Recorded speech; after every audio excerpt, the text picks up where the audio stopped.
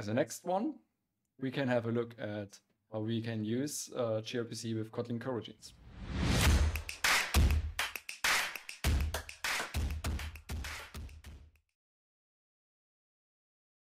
Okay.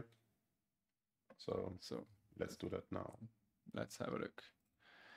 Um, for that, I will create, a, or we can upgrade our uh, service.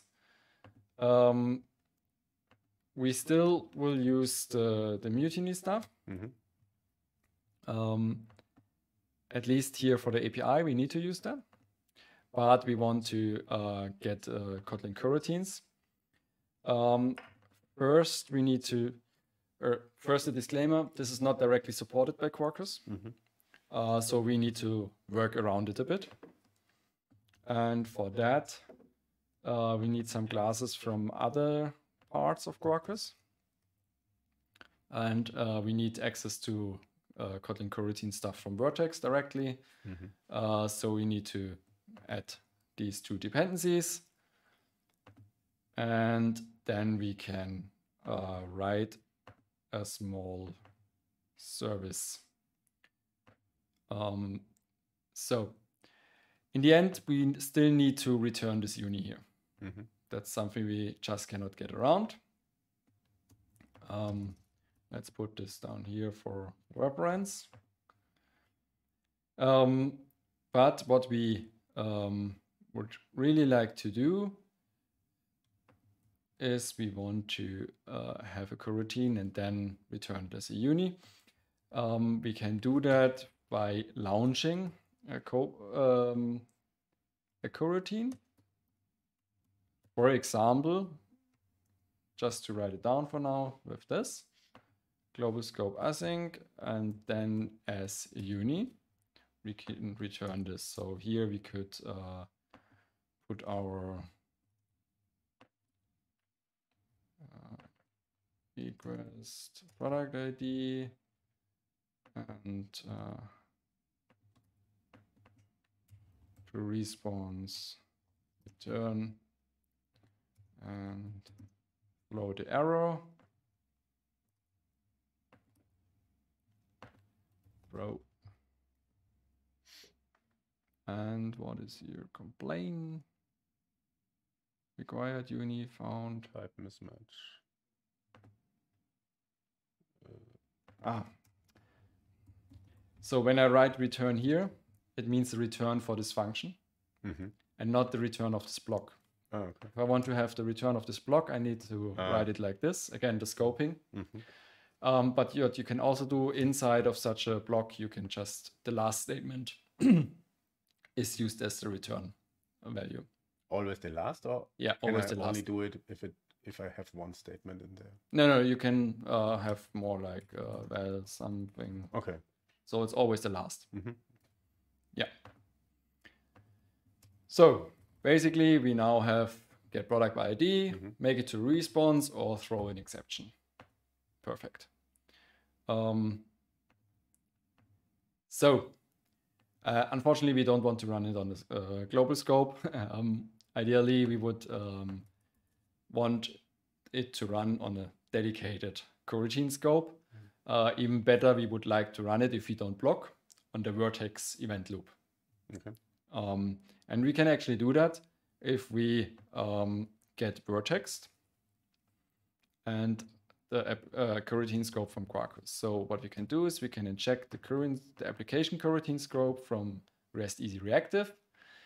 Uh, unfortunately, that's in that package there um, because there they needed it and they don't have a global coroutine support yet. Um, so I use it from there and uh, from Vert.x directly. And what we can then do is uh, we can use, instead of the global scope, we can use that coroutine scope to start it and we dispatch it onto the Vert.x dispatcher. That's something we need to write. And now it should work. Um, yes. Oops. Let's opt in. So that's again, the same. Uh, I need to close some tabs.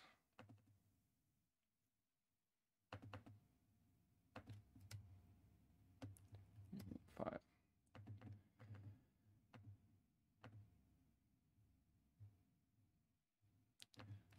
Um,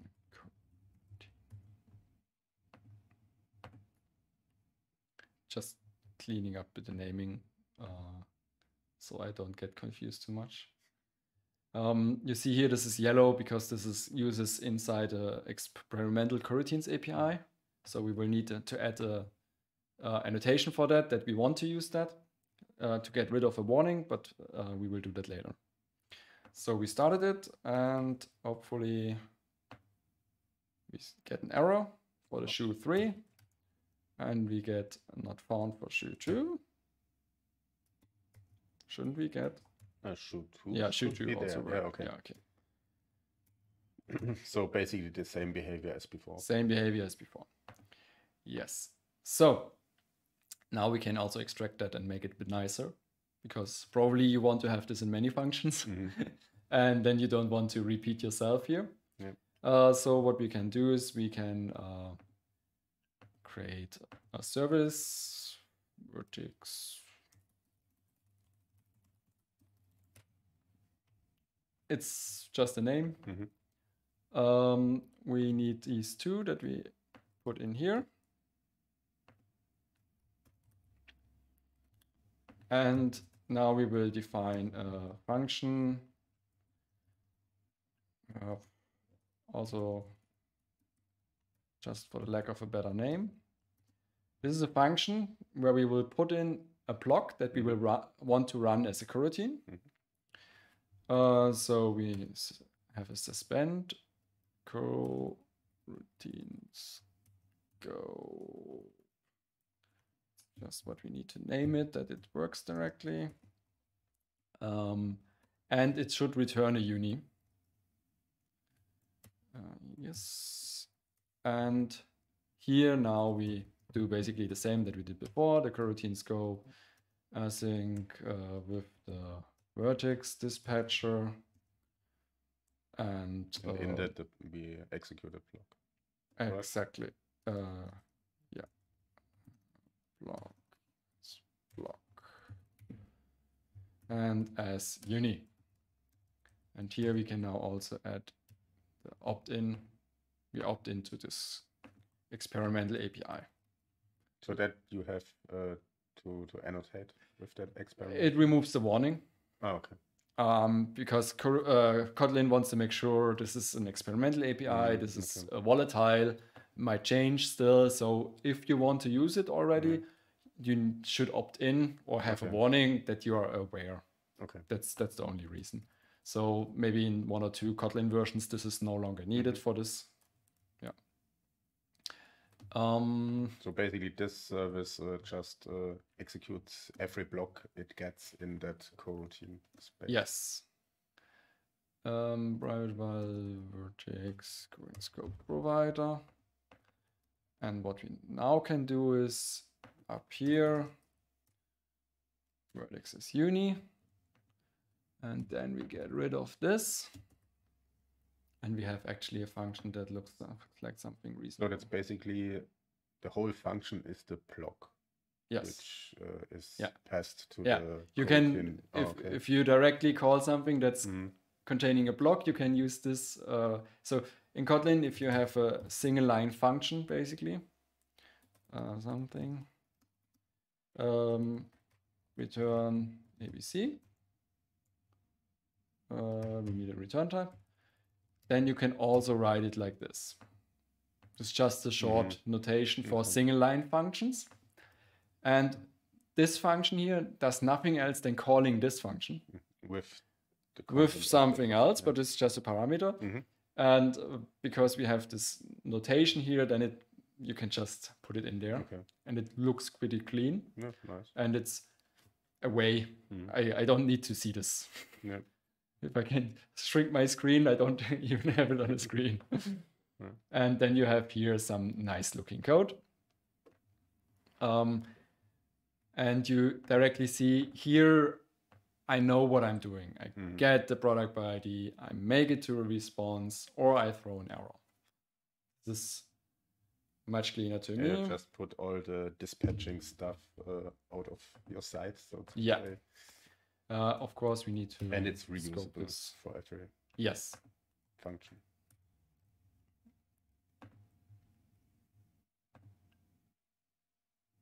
So that should work now as before. Yes, that should work as before.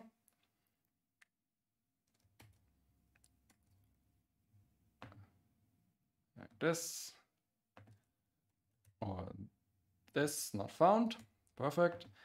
And here, uh, now that we have uh, Kotlin coroutines, uh, we can also use it in the product by ID. So for example, we can make this a coroutine and we can call other coroutines that might, instead of blocking Mhm. um, calls, they, they can suspend. Um, for example, if we have something that delays, then this is not blocking Mhm. the thread.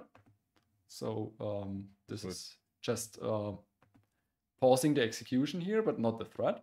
So in, in the meantime, the event loop can process other stuff. So the expected behavior now is we can execute it. We have to wait till the delay is over, but we don't get the uh, exe- uh, the exception from Vert.x Yes, exactly. The exception that we saw before.